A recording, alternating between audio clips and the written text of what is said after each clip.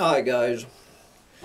It is an absolutely spectacularly gorgeous, and I mean over the top beautiful, postcard perfect Monday morning here in the end times on Monday, August 2nd, 2021. And I got to figure out what to do with this gorgeous day. But before I head out into paradise here at Bugs in a Jar Farm, uh, I stumbled on this story. I think this story was on Yahoo News for about five minutes before it got ripped down last night.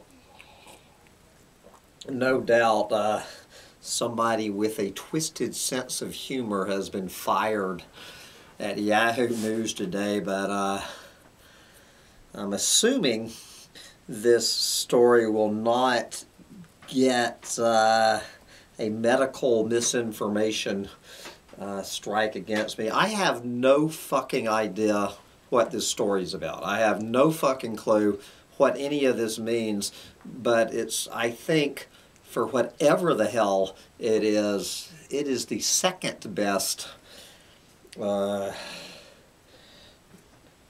Corona Panic Chronicle I have ever read. Of course, Deb Ozarko will always uh, live on as having the single best Corona Panic Chronicle, but coming in a close second to you, Deb Ozarko, is a woman I have never heard of named Melanie Hamlett, writing for this outfit called the Daily Beast. And somehow, some uh, junior editor on a Sunday evening actually managed to uh, get this posted on Yahoo News in the mainstream media before it was ripped down uh, and someone fired. So, uh, Melanie Hamlett, uh, take it away. Whatever the hell you're talking about here, darling. Uh, I love the way you say it. From super spreader sex houses to nude beach fistfights, vaccinated partying, not all it's cracked up to be. Okay, so, you know, all of this talk about unvaccinated partying all over the mainstream media. Melanie Hamlett and the Daily Beast are going to take a peek into what it looks like for a bunch of vaccinated people partying. And we're going to go over to France for this dispatch from the end times. Okay. This is one of the all-time greatest opening sentences I have ever read regarding the corona panic. After being woken up by the sound of a little dog below me humping his favorite teddy bear, I crawl down the ladder of a kid's bunk bed and head downstairs to assess the damage of last night's debauchery. Cigarette butts, empty wine bottles, and half-eaten baguettes litter the kitchen and pool area of this mini French mansion my friend Jackie is currently dog sitting at. There is puke around the toilet in the cave downstairs. A hot Frenchie sashaying through the kitchen in his gunties, still high on X, and a middle-aged dude starfished face up on these people's shinancy leather couch completely naked. God damn, it is good to be going back to normal.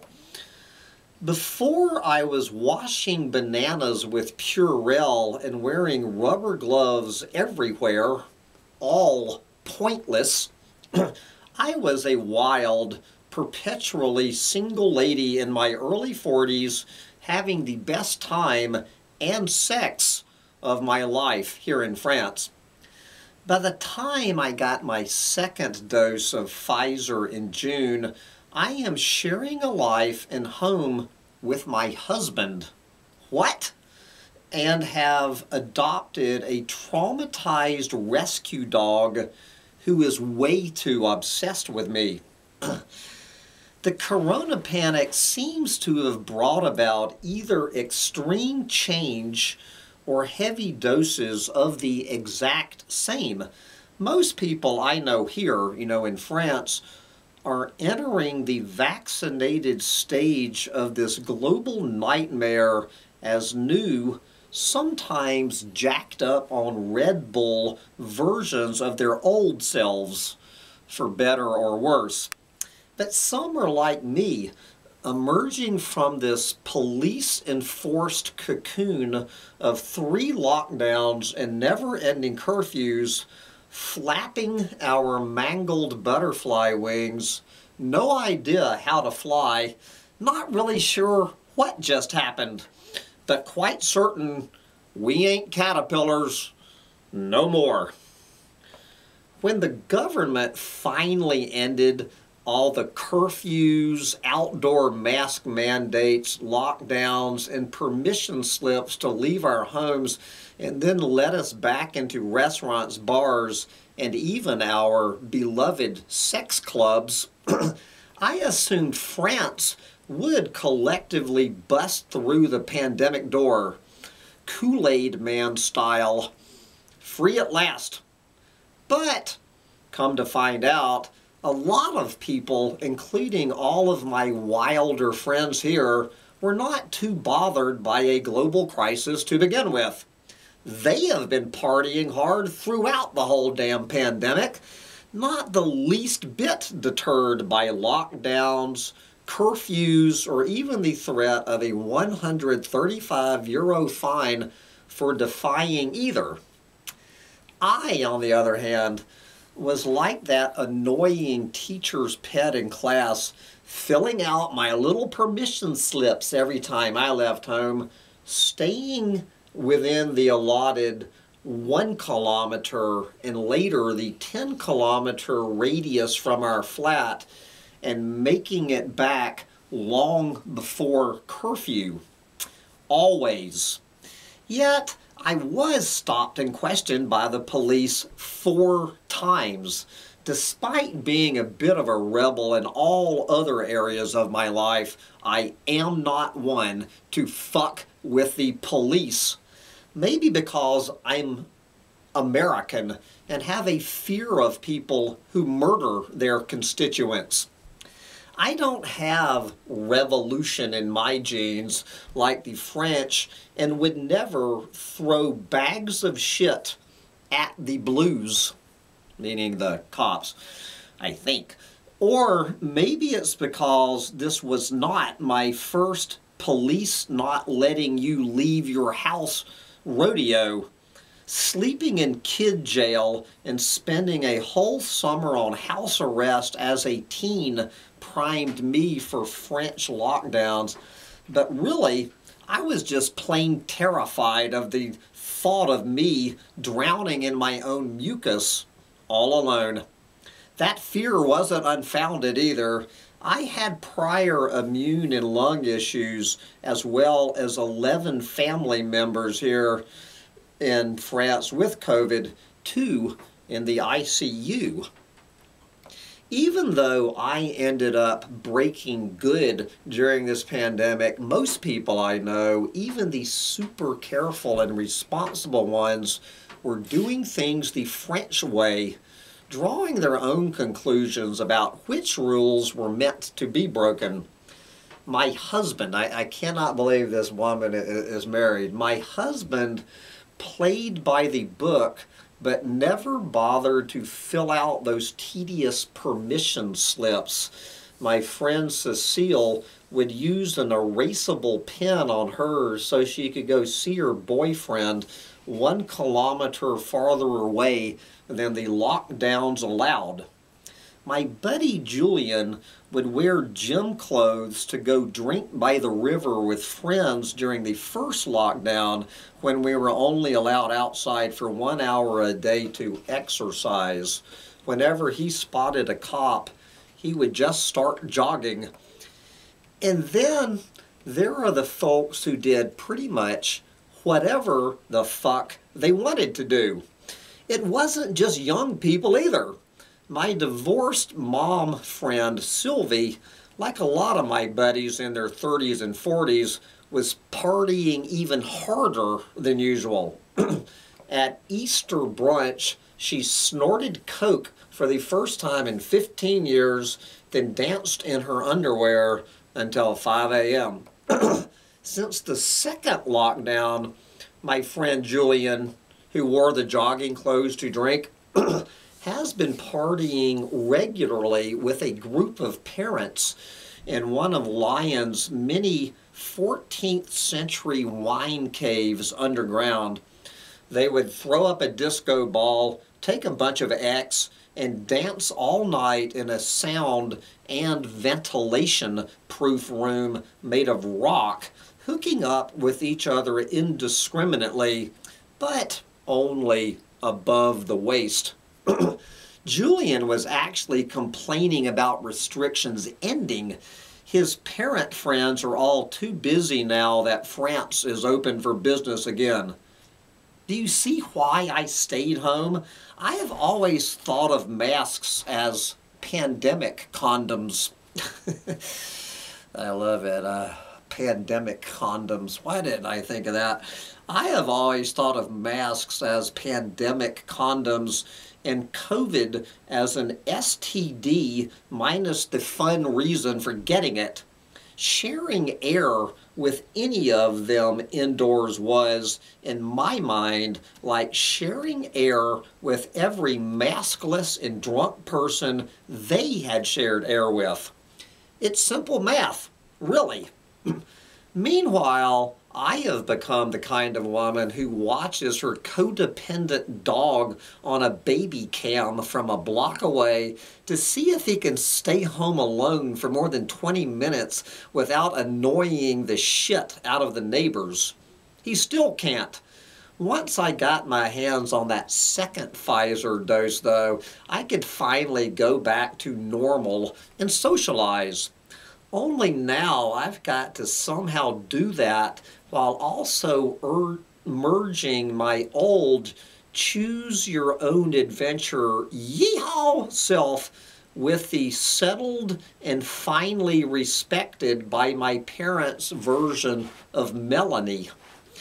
My first night out is at France's annual music festival, Fête de la Musique where bands and DJs play randomly all over town.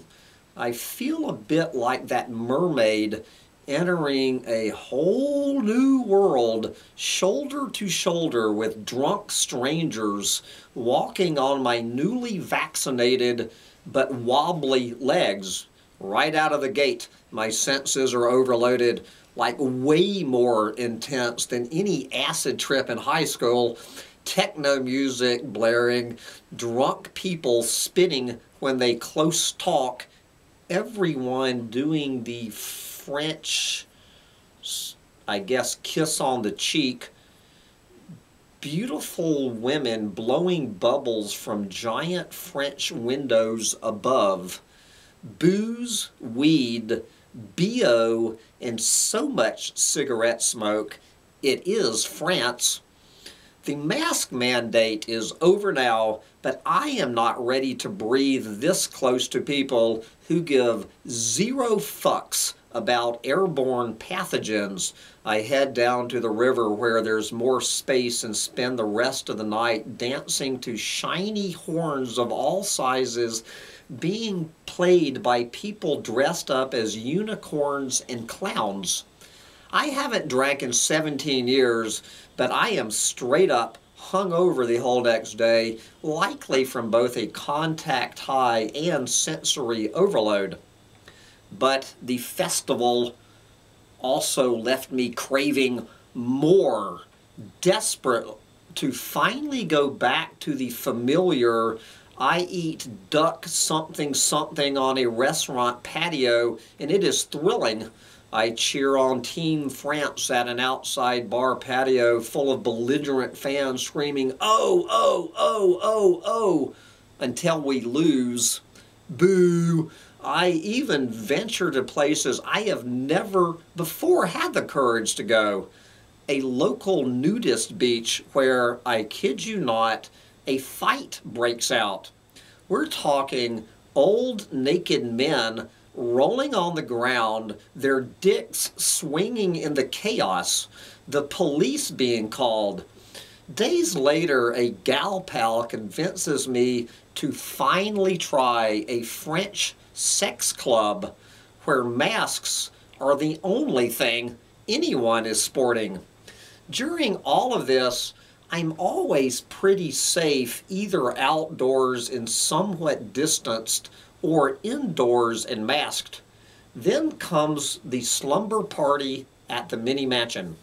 Finally, I am going to hang out with my party animal friends all together for the first time since the corona panic began. the owners uh, of the mini mansion gave my friend Jackie 20 bottles of wine and permission to throw a party in exchange for taking care of their teddy bear humping dog, Leopold. Their teddy bear humping dog, Leopold. Since Jackie and most of our friends are single women, she invites as many men as possible. My sweet husband offers to stay home. Okay, I, have got to uh, I, have got to nominate this woman's husband as the single biggest clueless fucking moron on planet Earth. Could you imagine being married to this woman? My sweet husband offers to stay home while his wife heads off to a slumber party at a sex club. anyway, my sweet husband offers to stay home and take care of our 80 pound baby because he is amazing like that. Then he even drops me off at 2 p.m. with my sleeping bag and an armful of baguettes. I, I can only wonder what this woman's husband was doing uh, while uh, his wife uh, was off at a slumber party at a sex club. I guarantee you, darling, he was not taking care of your dog. He had plans of his own that did not include you. anyway, back to the story. Uh, the party is a mix of Frenchies and, ex and expats mostly single or divorced in their 30s and 40s, though one is old enough to have a teenage son who he brings along with him. I'm not used to having a boyfriend in general, much less a husband. So when drunk men immediately hit on me, I flash my ring. Sorry to nip that shit in the bud. I am the only coupled person here except for one girl who brought along her boyfriend and two of his hottest co-workers, all of them cops. This is basically a sausage fest of middle-aged folks who rage even harder than me in my high school days.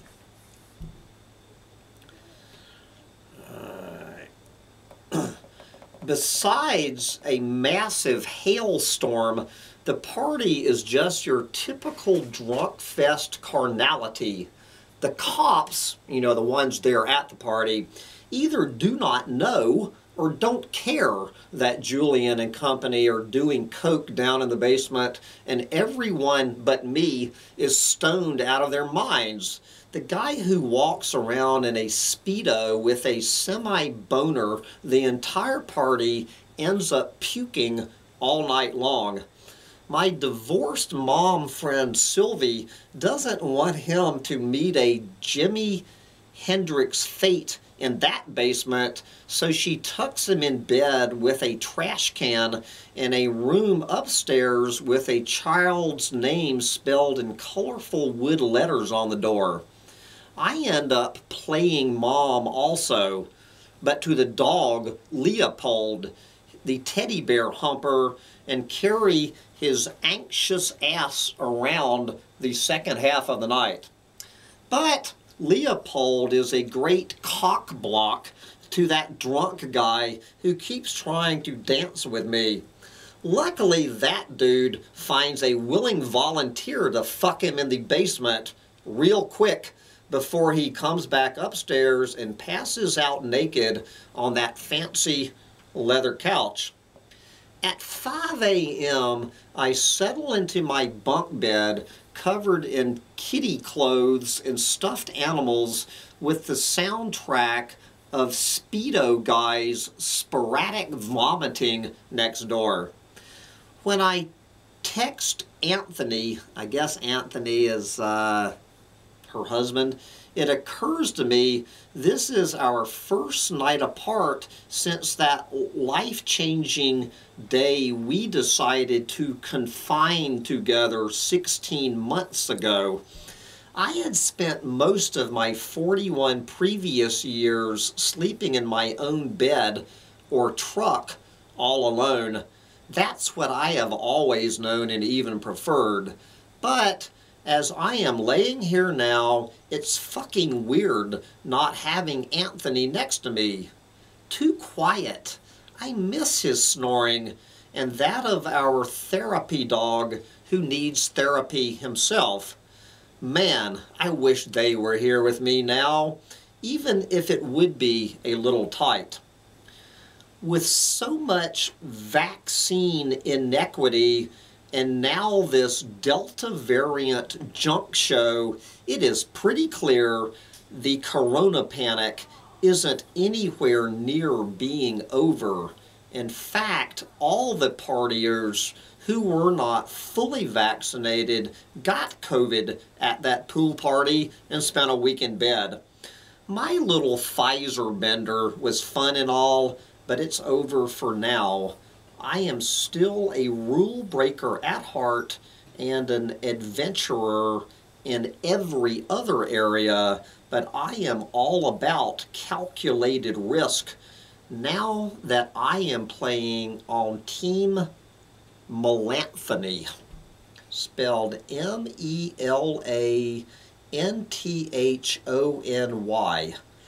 I am all about calculated risks now that I am playing on Team Melanthony, I have no fucking clue what that last sentence meant, and I had very little clue what any of that uh, Corona Panic essay meant. But anyway, I thoroughly enjoyed reading it, uh, and I think uh, she is pro-vaccine. But amen, Sister Melanie Hamlett, for uh, getting on to Yahoo News and the mainstream media for about five minutes. But anyway, now that I've gotten that off my chest, uh, I need to head over to, Colla to Collapse Chronicles and pick out which doom and gloom story of the We Are So Fucked story of the day to share with you and then get out there and enjoy this beautiful day, although it probably won't be in a French sex club. I suggest you get out there and enjoy all of these sex clubs you can while you still can. Bye, guys.